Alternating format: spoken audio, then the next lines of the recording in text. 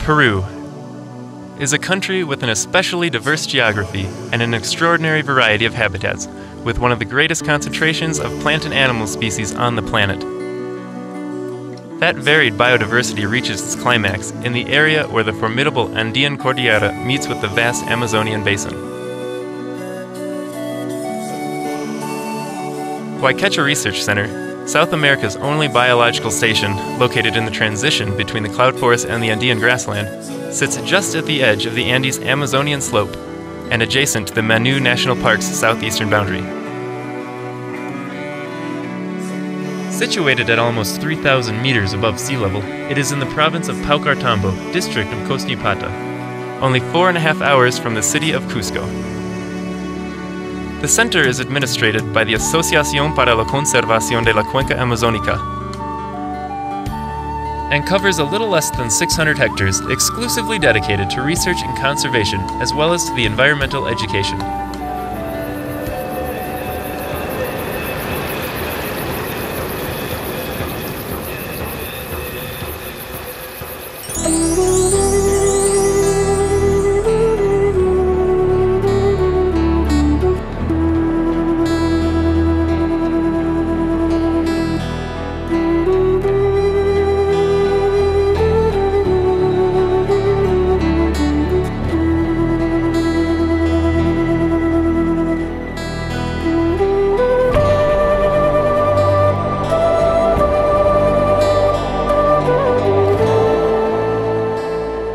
The singular location of the Wayqecha Research Center allows easy access to two of the world's most dissimilar adjacent ecosystems the humid, diverse, and ecologically fragile cloud forest, and the cold and exposed Andean grassland, or Puna, impoverished in species.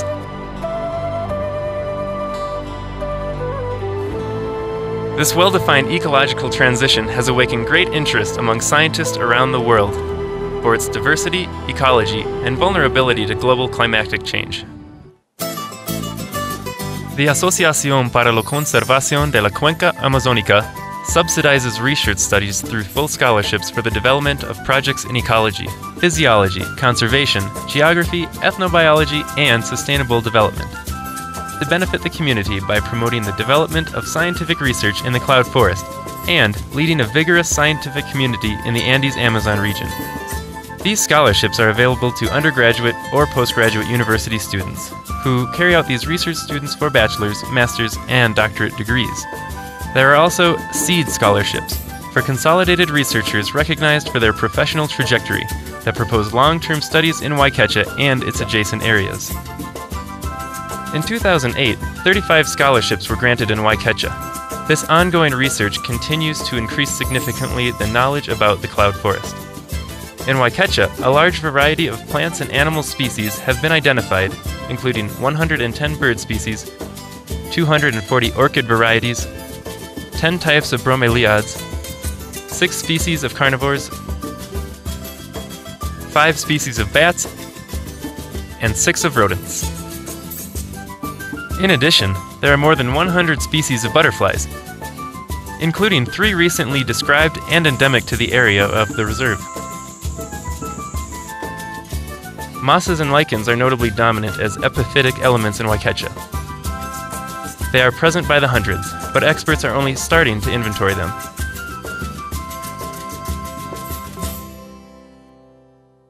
In the case of amphibians, studies are in full development.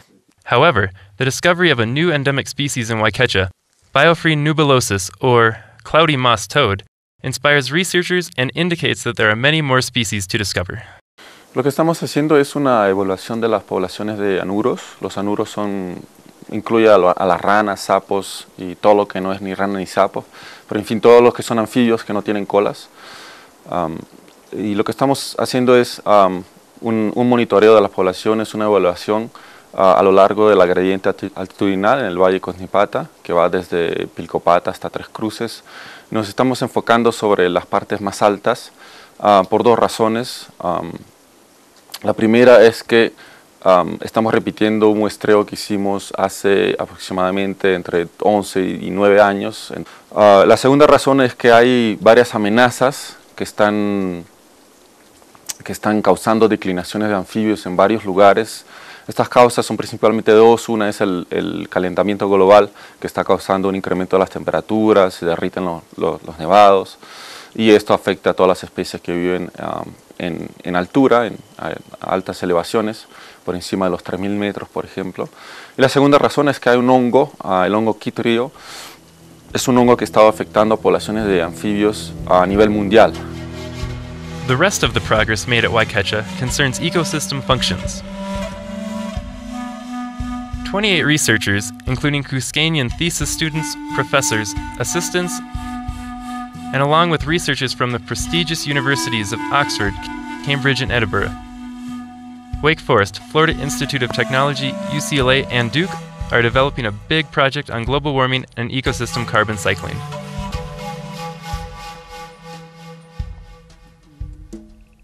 Under the effects of global warming, it is possible that habitats and species of the Andean slope will migrate uphill, colonizing the Andean grassland and other highland ecosystems. However, it is also possible the cloud forest will completely disappear if factors like the availability of water and oxygen prevent its species from moving to higher altitudes. The reduction or disappearance of the cloud forest would negatively affect the water capturing ability of this ecosystem and would cause massive extinctions of plants and animals, as well as endanger water supply to human populations who live and develop their activities in the middle and lower part of that basin. Therefore, in order to understand this ecosystem and know how to protect it, it is imperative to study it. La taja de calentamiento en las seres más bajas está más o menos 0.3 grados por 10 años. Entonces, la, uh, la, la, temperatura ahora ya está un grado Celsius mayor que estaba en los años 70.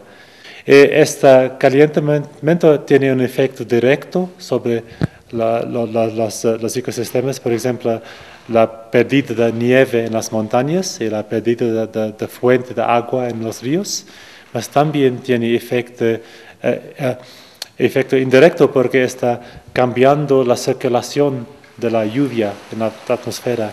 Y hay, hay muchos dos modelos de cambio climático. Los computadores muestran que la zona sur de Perú, como la región de, de Madre de Dios y, Cusco, van, a tener más frecuencia de sequía en en los próximos años. One of the key findings of this group of researchers is that the cloud forest has much more biomass in its fallen leaves and roots than the lowland rainforest, which indicates that the cloud forest is an important carbon reservoir that had remained unsuspected up to now. It is possible that cloud forest soils will be of crucial importance for the development of seedlings of high Andean trees that might not be able to grow, if directly sown in highland soil. Studies on this issue will contribute to the recovery of deforested and eroded areas of the Peruvian mountain ranges. Another long term project concerns the reproduction of birds, a group of high diversity in the cloud forest. Researchers are studying how environmental factors affect the nesting success of birds and the future impact climate change will have on their populations, as well as their interactions with the ecosystem. Leading studies on the characteristics of eggs, nests, the time these birds spend in their nest, and all factors that deal with why birds in the cloud forest take more time to come out of their eggshell.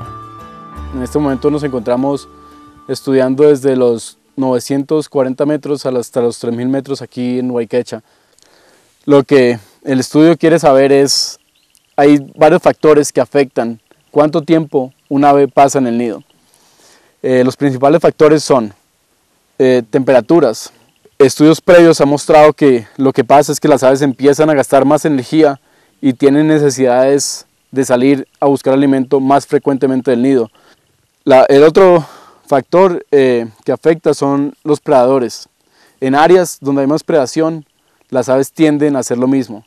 a estar más tiempo en el nido para acelerar el proceso. Y el último factor es la disponibilidad de alimento. Hay estudios que han mostrado que cuando se aumenta el alimento, las aves tienden a estar más tiempo dentro del nido porque tienen menos requerimientos energéticos. Furthermore, Wayqecha fulfills a fundamental social role in taking groups of students on guided visits to the reserve.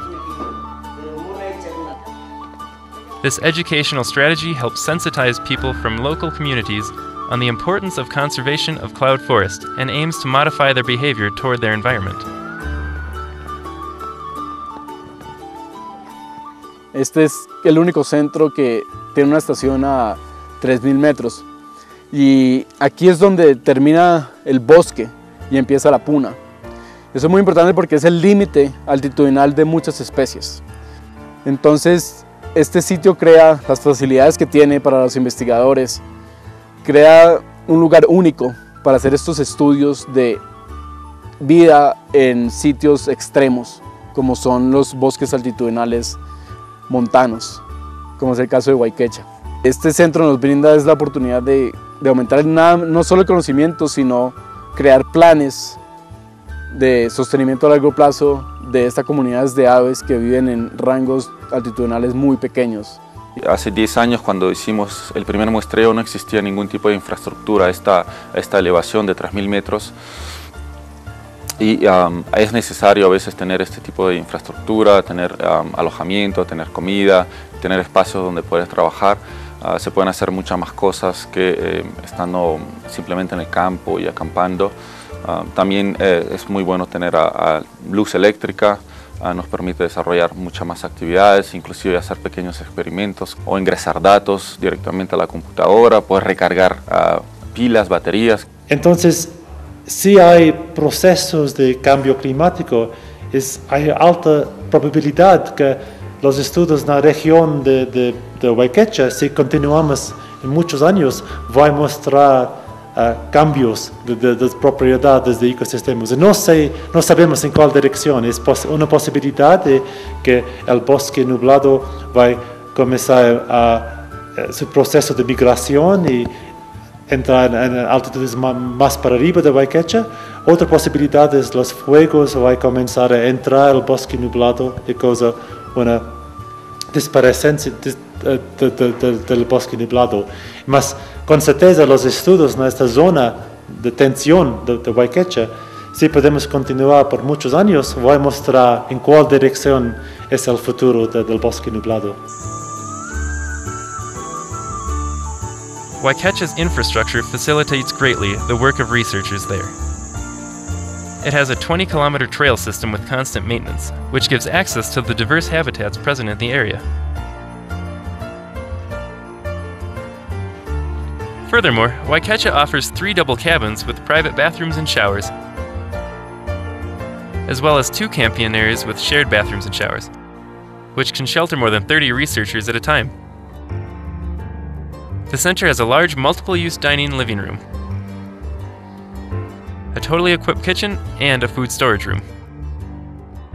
En los últimos años, apenas hemos comenzado a entender y descubrir cómo funciona el bosque nublado y la importancia fundamental que tiene para el mantenimiento del clima, la diversidad biológica y la calidad de vida de los pobladores de Sudamérica y el mundo. Pero a medida que descubrimos más y aprendemos más, nos damos cuenta que nos queda mucho por, entender y surgen más preguntas. En la Asociación para la Conservación de la Cuenca Amazónica esperamos que las nuevas generaciones de científicos se interesen cada vez más por estudiar los bosques de las laderas andinas y que contribuyan así al conocimiento de este ecosistema tan fascinante que es el bosque nublado. The Waikecha Research Center and la Asociación para la Conservación de la Cuenca Amazónica promote the conservation of our region's less impacted spaces that, without doubt, will become a legacy and symbol for future generations in the region of Cusco, our country, and the world.